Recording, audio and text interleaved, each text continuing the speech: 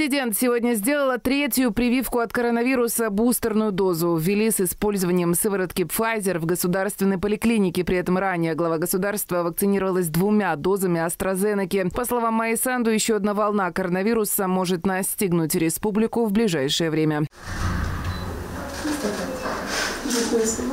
Сразу после введения противокоронавирусного препарата Майя Санду заявила, что чувствует себя хорошо.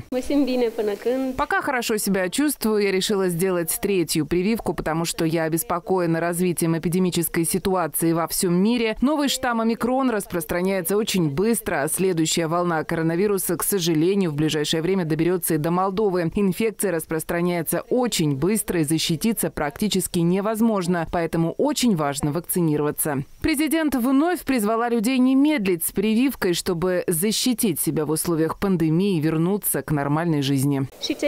Те, кто привились двумя дозами, им позволяют в прошедшие полгода сделать прививку препаратами AstraZeneca или Pfizer. Я призываю вас вакцинироваться еще одной дозой. Я сделала бустерную дозу и стала увереннее в своей безопасности. Мы отправились в муниципальный центр вакцинации, где в утренние часы мы застали около 30 желающих иммунизироваться. Этот молодой человек пришел на вторую прививку, говорит, выбрал препарат Pfizer. Рано или поздно нам всем придется привиться, и это нормально. Например, если приезжие из других стран предъявляют документы вакцинации. Также и мы, когда куда-то уезжаем, можем предоставить справку. А эта женщина делает первую прививку. Говорит, что до этого находилась в России на заработках и не могла там вакцинироваться Пфайзером.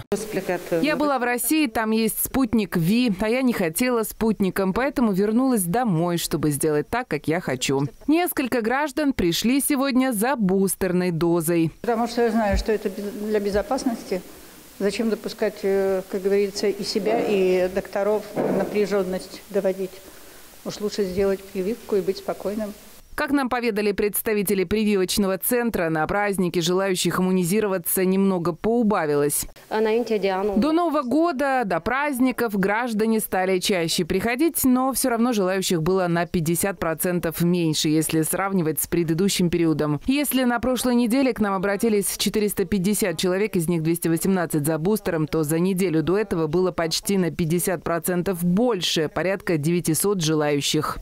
В декабре в муниципальный прививочный центр обратились 4200 граждан. Из них больше полутора тысячи за бустерной дозой прививки от коронавируса.